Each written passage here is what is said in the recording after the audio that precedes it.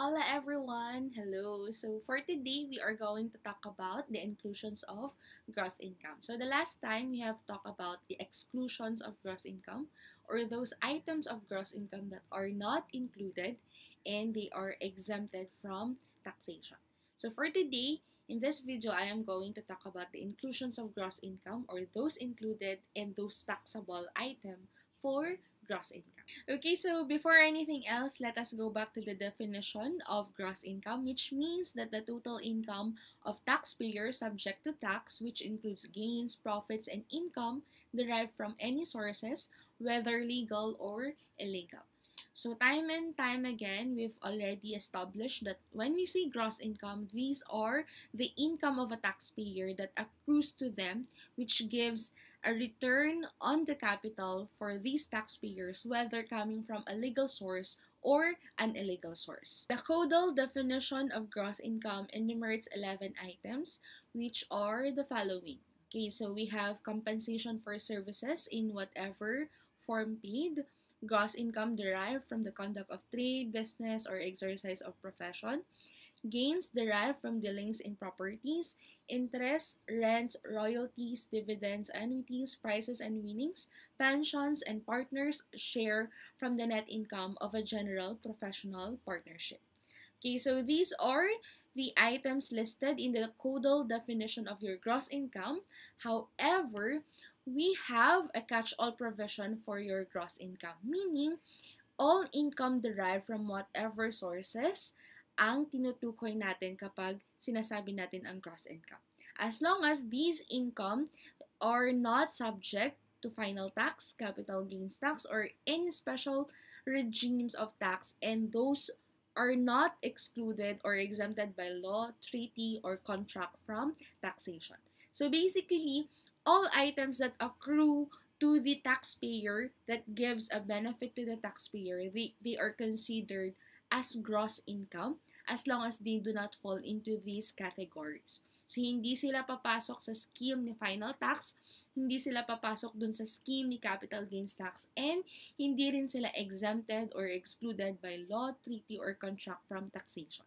So, all things will go to your gross income subjected to your regular income tax kapag hindi na sila kasali sa mga schemes na to.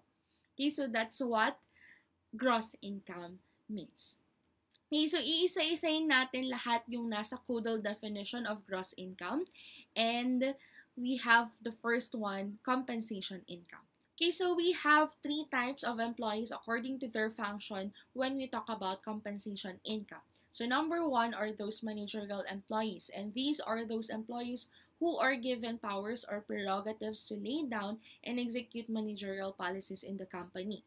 We also have those supervisory employees or those who effectively recommend such managerial actions if the exercise of such authority is not merely routinary or clerical clerical in nature but requires the use of independent judgment. So basically, these managerial and supervisory employees are those nasa taas ng ating company or the business. And we also have those rank and file employees or those who neither hold a managerial and supervisory functions.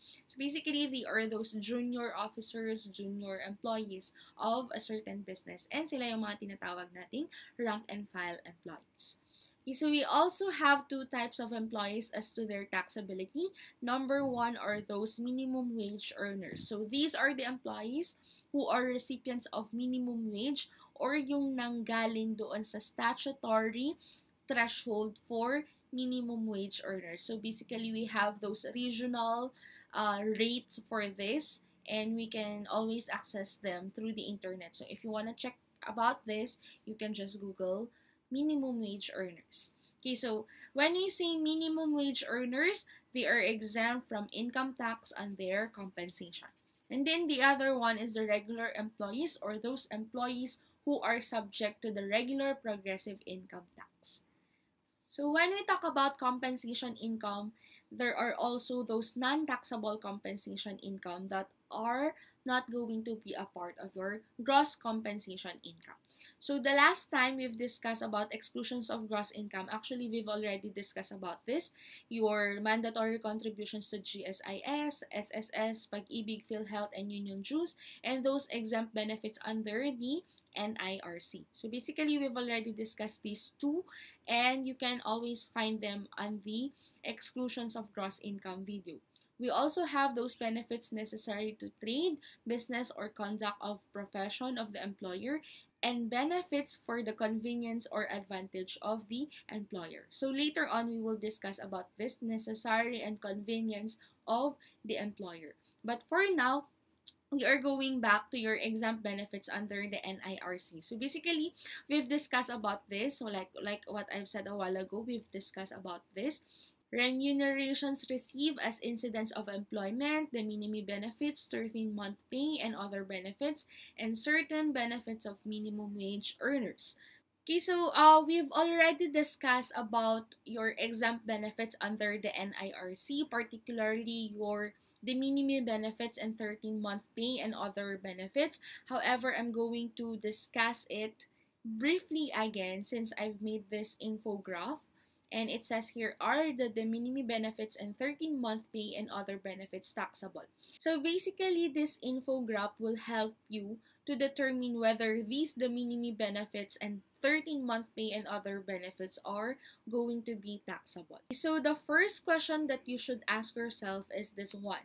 Does the de minimis benefit exceed the regulatory limit? So this regulatory limit are those presented last time in your exclusions of gross income. So if you still remember those, and well and good.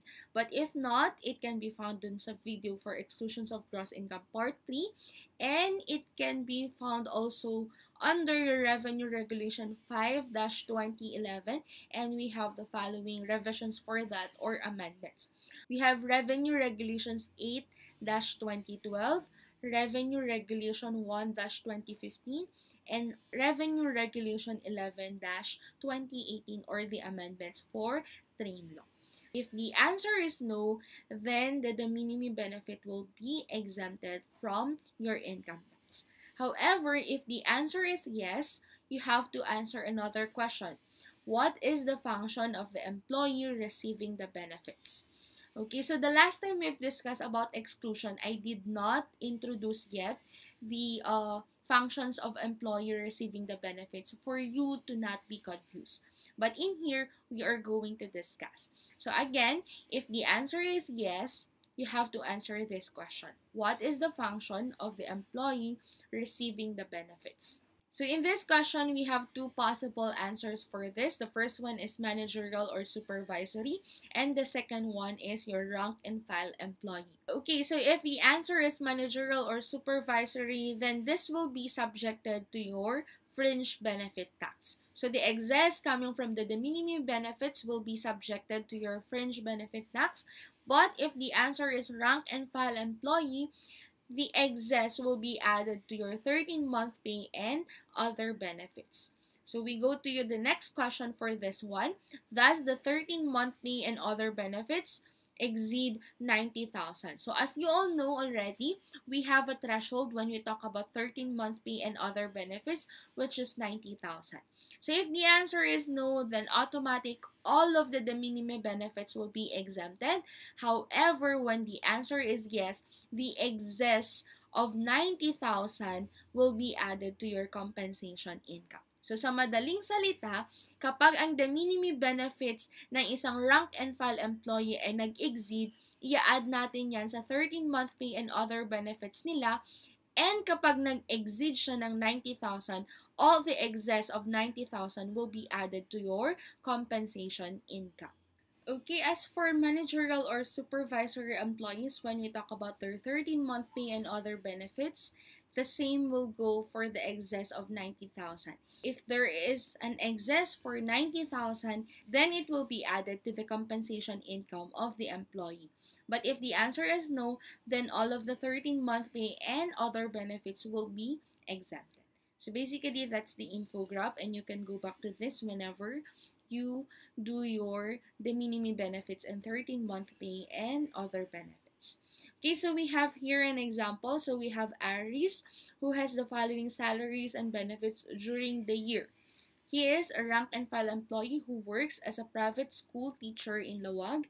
And we have two questions for this problem. Compute the total gross income subject to regular income tax and the income exempt to regular income tax. Okay, using the infograph, so we have the first question. Does the de minimis benefit exceed the regulatory limit? So going back to the problem, we have the following items of salary and benefits. So isa-isayin natin kung ano ang laman ng exempt de minimis benefits ni ARIS. So first, we have your uniform allowance and ang regulatory limit natin is 6,000 but the actual receipt of ARIS is 50,000. Therefore, the exempted amount only is 6,000 since this is the regulatory limit. So we have an excess of 44,000. The next one, we have medical assistance and the regulatory limit is 10,000. The actual receipt of ARIS is 10,000, thus it will be exempted. The next one, rice subsidy. And ang regulatory limit natin dito is 2,000 per month. So in a year, we have 24,000. And the actual receipt of ARIS is 15,000.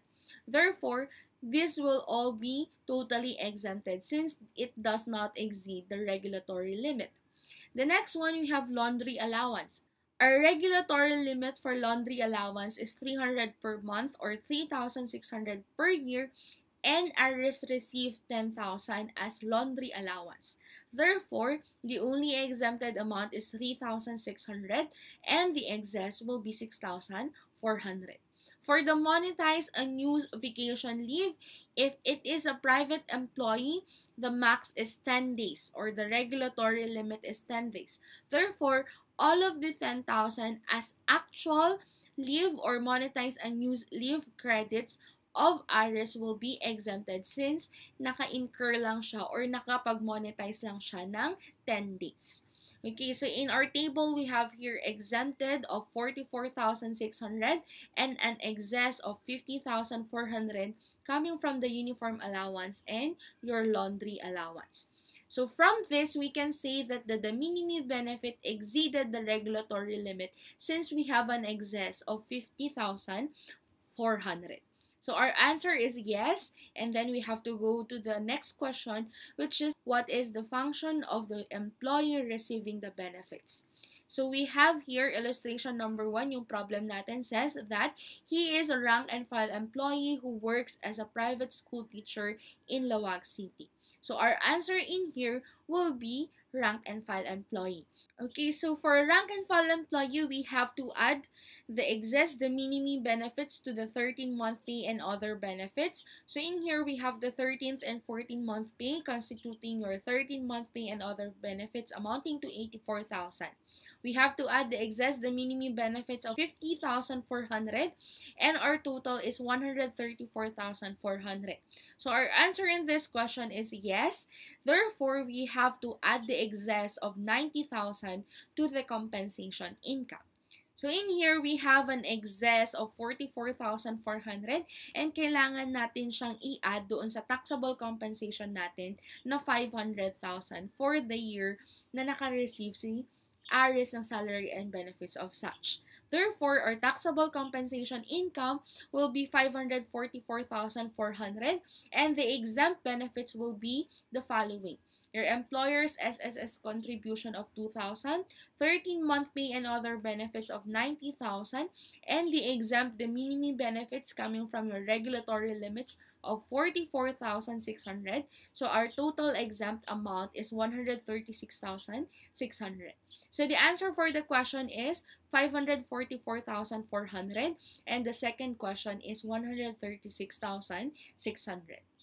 Now, for the next illustration, assuming Aris is a private employee and he is occupying a managerial position, does the de minimis benefit exceed the threshold or regulatory limit? So, we have here yes.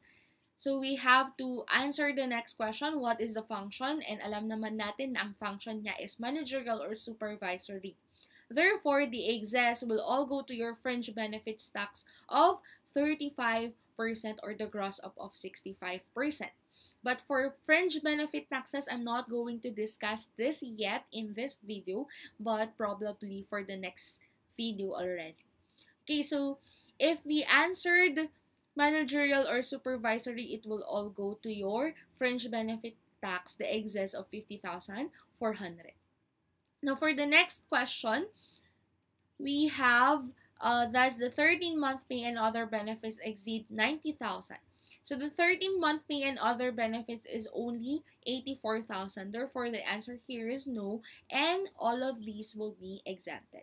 So if we go back, the taxable compensation will be 500,000 and the exempt benefits will be your employer's SSS contribution of 2,000, 13-month pay and other benefits of 84,000 and that is for a total of 86,000. So this should be 86,000. And the excess, de minimis benefits of 44,600 will be subjected to fringe benefit tax.